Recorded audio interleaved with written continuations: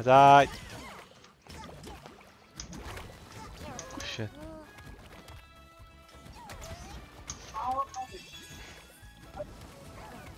마하라카 드가자미.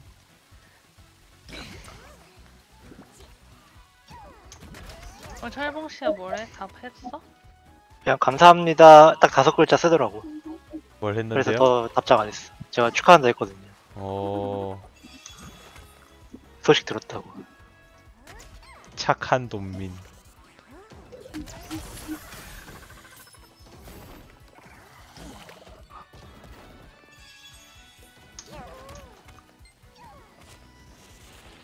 어, 일등이당. 길드 가입을 가동력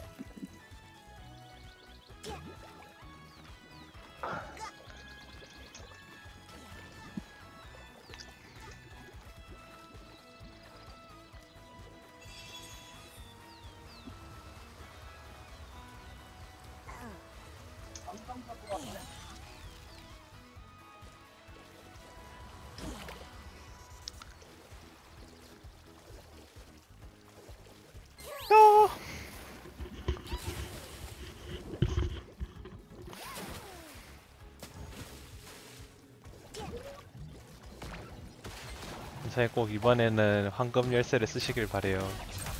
하. 나 진짜 난 버그인 줄 알았어. 아 이거 뭔가 또 이상해서 스마게가 스마게 한 줄 아셨을 수도 있죠. 나 충분히- 내일이나 뭐 이럴 때는 뭐 통합 보관함에 들어오겠지. 나는 그거 한 개밖에 못 먹는 건지 모르고 더 먹고 싶은데 안 먹어줘서 내가 이 큐를 못 맞췄나 생각해 생각도 했어. EQ 머리 박으면은 깨지는 건줄 알고. 근데 정확히 어떻게 해야 돼? 그 Q를 해야 되는 거야 아니면? 상자에다 Q 갈기면 돼요. 박치기 하니까 깨지더라.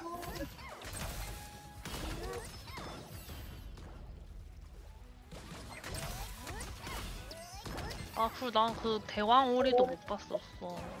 대왕오리 가운데 뜨는데 그거 한 대는 꼭 쳐야 됩니다. 랜덤이라던데. 아 그래요?